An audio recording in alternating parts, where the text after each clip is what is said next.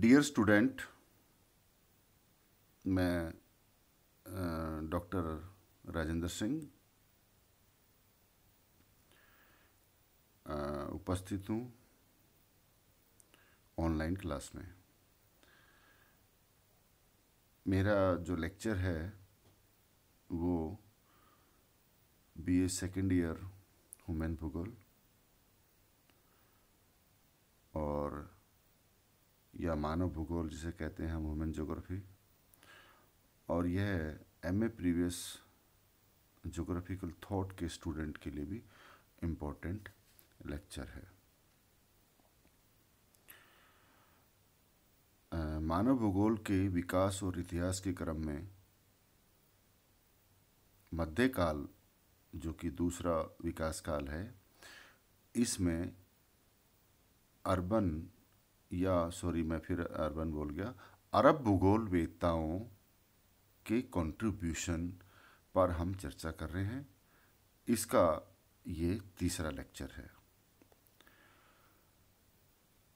अरब भूगोल वेताओं के कंट्रीब्यूशन या योगदान को हमने नाइन पॉइंट्स में डिस्ट्रीब्यूट किया था, जो निम्न है।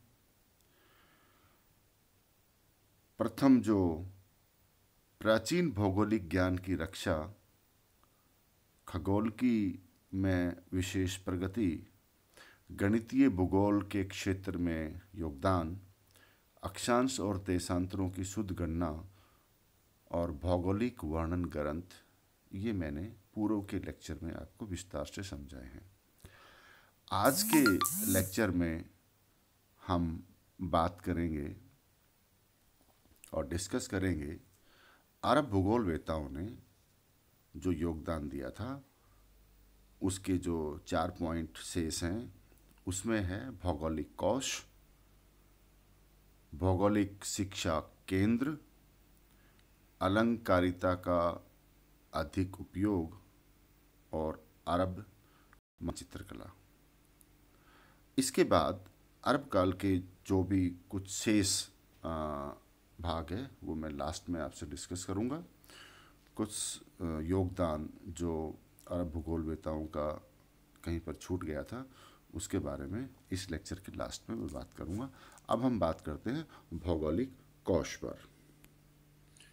अरब भूगोल भूगोलवेताओं के योगदान के जो हमने पॉइंट बनाए थे, उसमें छः नंबर पे या सिक्स नंबर पे है भौगोलिक कोश। अरब भूगोल भूगोलवेताओं ने जोग्राफिकल डिक्शनरीज के संकलन का भी कार्य किया। इसमें विद्वान लेखक जकाउत के द्वारा भौगोलिक विश्व कोश बहुत प्रसिद्ध है तथा खगोल खगोलकीय भूविज्ञान तथा भूगोल के विभिन्न विषयों को शामिल करते हुए इकबान अल शेफा ने भी अपना शब्दकोश लिखा है तथा ग्यारहवीं शताब्दी के प्रारंभ में भौतिक भूगोल के आविष्कार तथा पर्वत निर्माण, जिसमें पर्वत निर्माण की क्रियाएँ, मर्दा निर्माण आदि विषयों पर विवेचन करते हुए इब्ने सीना ने अपना विश्व कोष बनाया था। इसी क्रम में ग्यारहवीं शताब्दी में अल बाकरी ने भौगोलिक शब्द संग्रह तैयार किया था।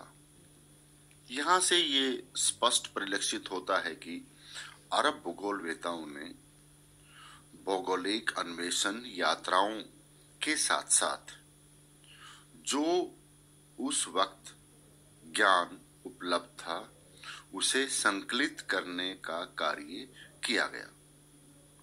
चाहे वह डिक्शनरी के रूप में हो, शब्दकोश के रूप में हो, मानचित्र कला के रूप में हो, या भौगोलिक वर्णन के रूप में हो, या भारत भ्रमण के दौरान अल बरूनी ने जो तीन पुस्तकें लिखी थी, जो कि मैंने पूर्व लेक्चर में आपसे डिस्कस किया था, जिसमें किताब Hind, the book of India, जवाहरात प्रिशियस स्टोन्स, तथा तीसरी जो बुक थी, उनकी स्थानों की सीमाएँ तथा दूरियों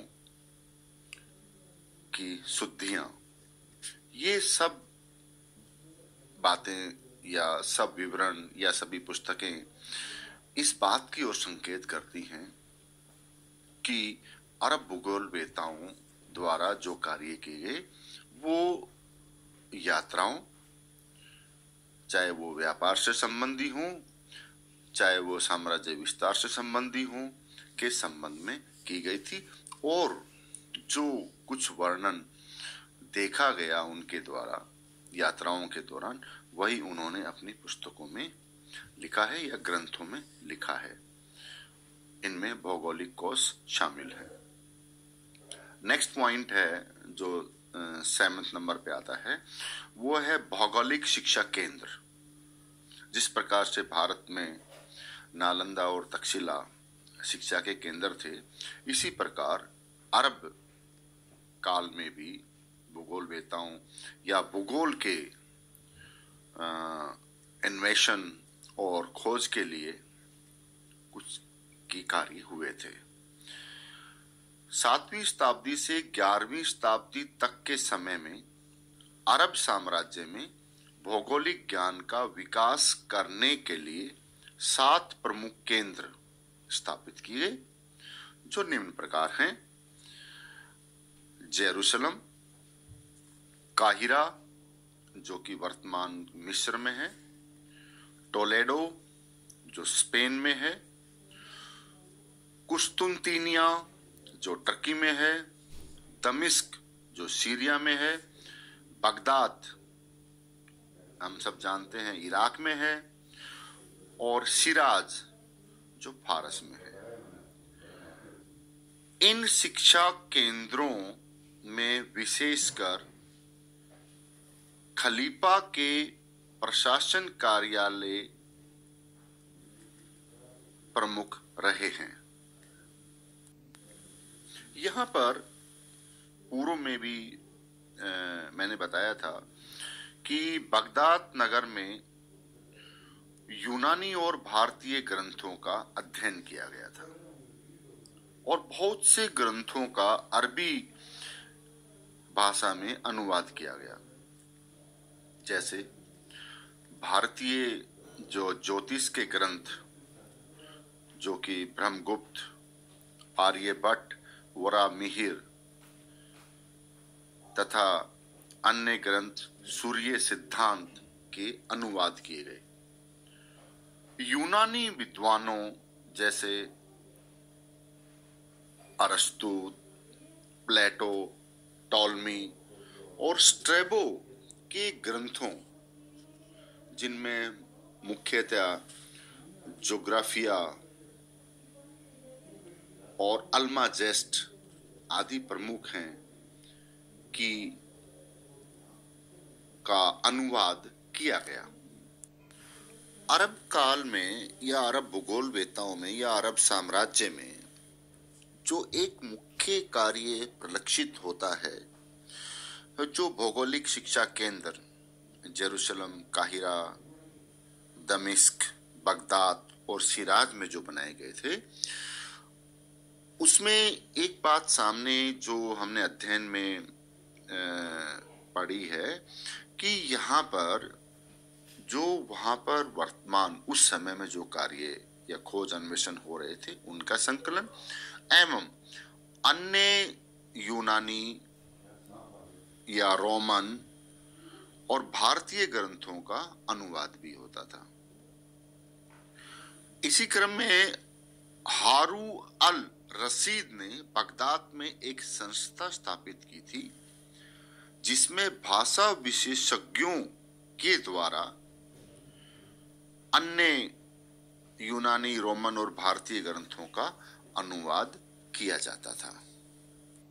नेक्स्ट पॉइंट है एट्थ, अरब भूगोल वेताओं के वर्णनों में अलंकारिता। यानी जो अनुवाद और जो लेखन का कार्य वहाँ किया गया था, उसमें कुछ वर्णनों, कहानियों को अधिक स्थान दिया गया।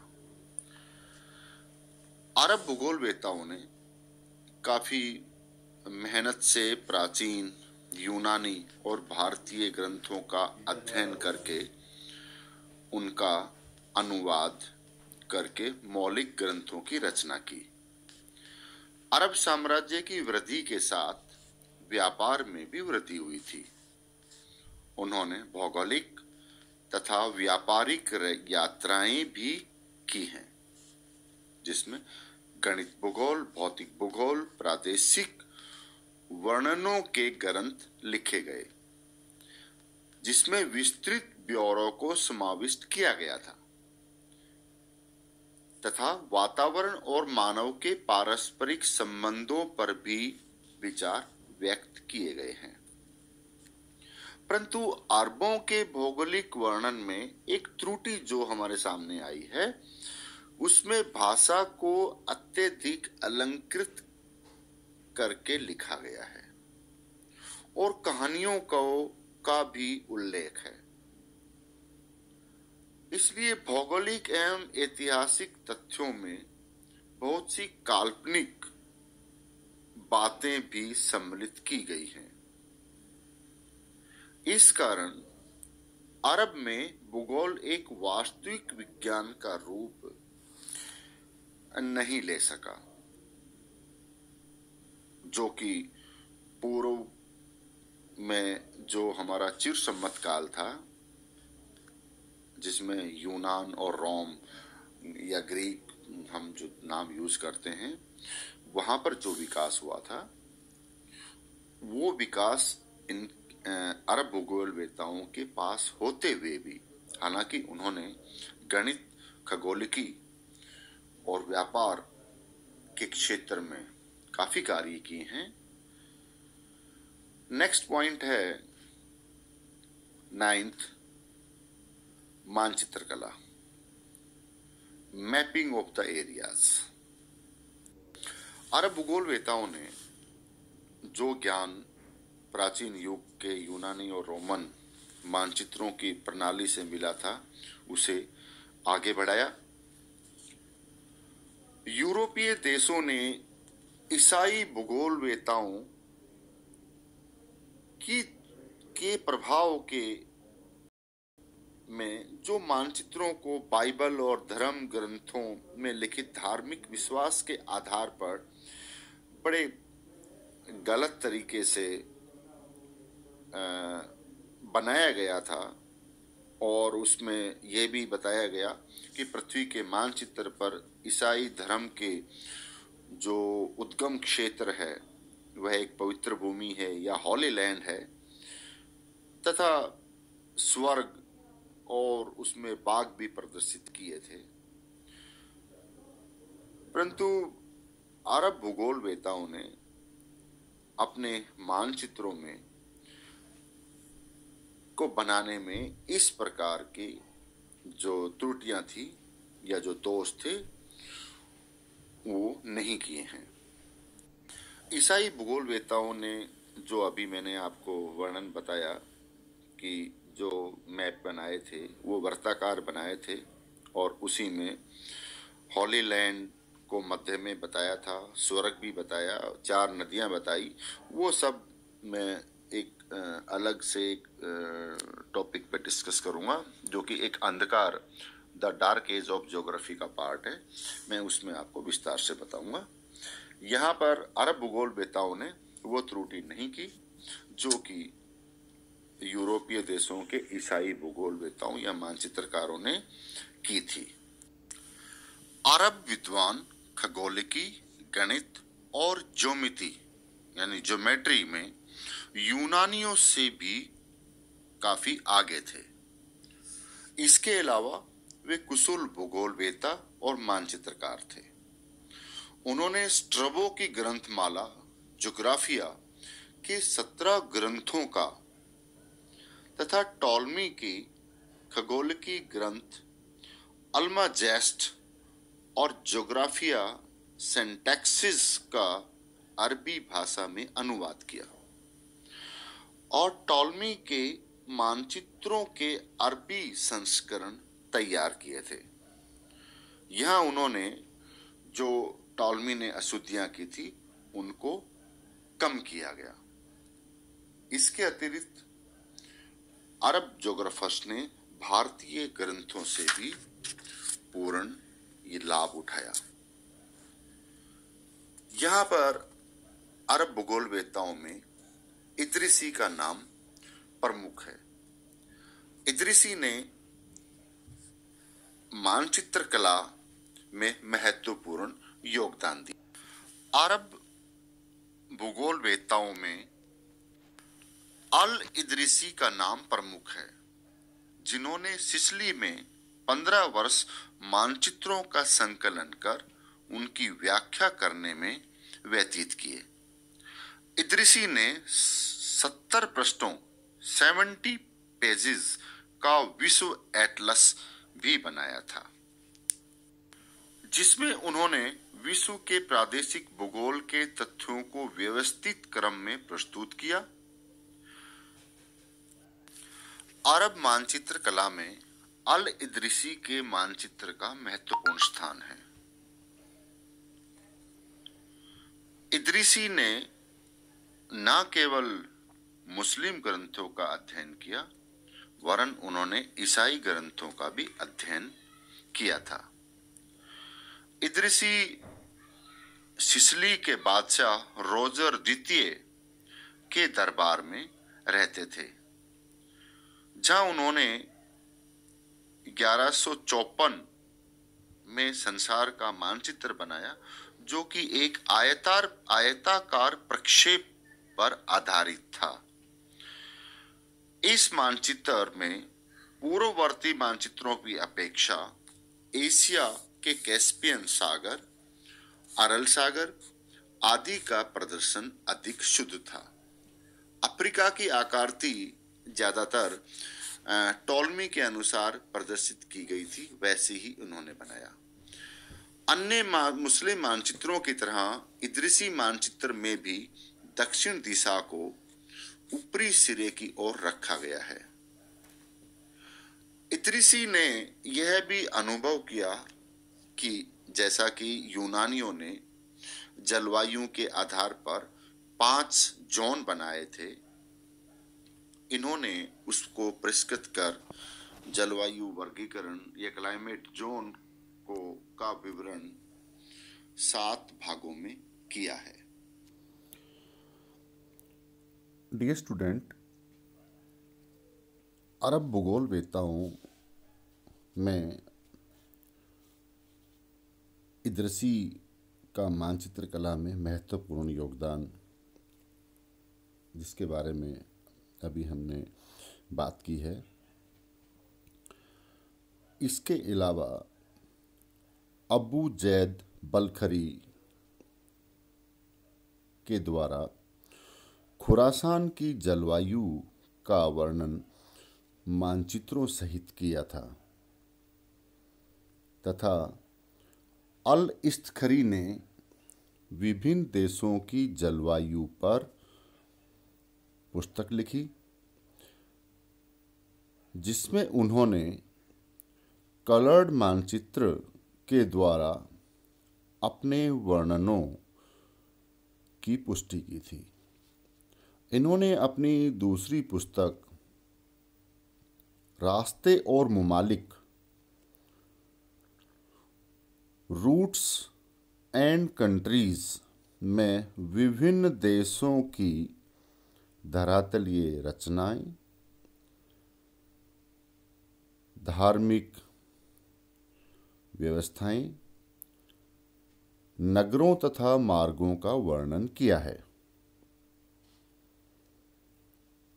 भूगोलवेता इब्ने हाकल ने अनेक भौगोलिक यात्राओं पर दो पुस्तकें पृथ्वी की आकृति, सेफ़ ऑफ़ अर्थ तथा संसार के देश, कंट्रीज़ ऑफ़ द वर्ल्ड जिसमें देशों का सामान्य, भौतिक और आर्थिक भूगोल का वर्णन किया है। इसी क्रम में अन्य भूगोल वेताओं का जो योगदान है, वो भी महत्वपूर्ण है। अरब भूगोल वेताओं द्वारा टॉलमी की रचनाओं का अरब भाषा में अनुवाद किया गया तथा उनका नाम अल मेस्तगी रखा गया था। इसके अलावा इब्न बतूता तथा इब्न खालदून का भी भौगोलिक योगदान उस काल में प्रमुख रहा है। डियर स्टूडेंट मैंने मेरे इस व्याख्यान सहित तीन व्याख्यान जो कि मध्यकाल के संबंध में आ, आपके सम्मुख रखे हैं। इनमें जो मध्यकाल का जो मुख्य डार्क एज के बाद में जो काल रहा है, वो अरब भूगोल वेताओं का रहा है। अरब भूगोल वेताओं के कंट्रीब्यूशन को या उनके योगदान को मैंने अपने दो लेक्चर्स में कंप्लीट किया है। ये, इसके बाद में हम जो नेक्स्ट लेक्चर पर डिस्कस करेंगे, या तो वो हम करेंगे डार्क एज अंधकार युग, या फिर वर्तमान भूगोल पर चर्चा करेंगे। यहाँ मैं आपको बता दूँ, वर्तमान जो, या आधुनिक भूगोल, जो भौगोलिक विकास के क्रम में तीसरा स्टेज है फ़र्स्ट एंशियंट सेकंड मध्यकालीन और तीसरा वर्तमानकालीन। इसमें अमेरिकन भूगोल बेता फ्रांसीसी भूगोल बेता जर्मन भूगोल बेता और अमेरिकन भूगोल बेता ये भी एक काफ़ी इम्पोर्टेंट डिस्कशन होगा। तो आज के लिए इतना ही। थैंक यू जय हिंद।